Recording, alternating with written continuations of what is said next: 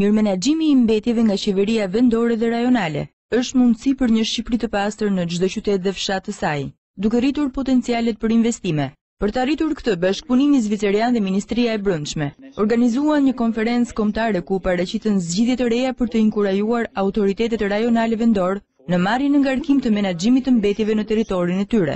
All institutions in Albania are now starting to become more aware and active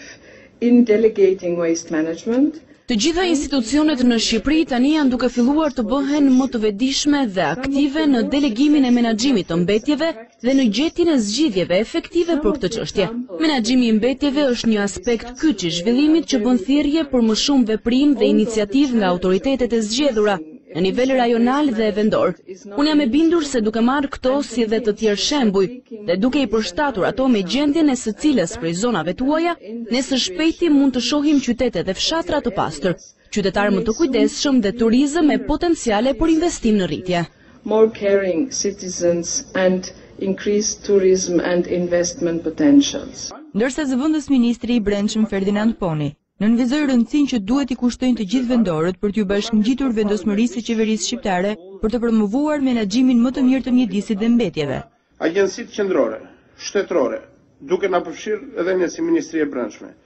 turistë, të huaj, donatorë, kanë objeksione që jo sa dhe si duhet, kjo detyrë ushtrohet prej kryetarëve dhe administratave vendore. Pra, është një çështje tjetër që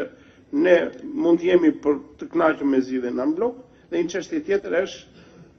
Pakënaqësia jonë ose diferenca midis kënaqësisë për të parë dhe pakënaqësisë për nivelin e ofrimit të shërbimit. Përfaqësues nga pushteti qendror, qeveria rajonale dhe vendore, institucione publike dhe private, si dhe donatorë ndërkombëtarë, kanë diskutuar shembuj të praktikave të suksesshme dhe efektive të menaxhimit të mbetjeve, ku ulja e kostos ishte një temë veçanërisht interesante për pjesëmarrësit, me shembuj të paraqitur nga ekspertët zviceranë dhe shqiptarë.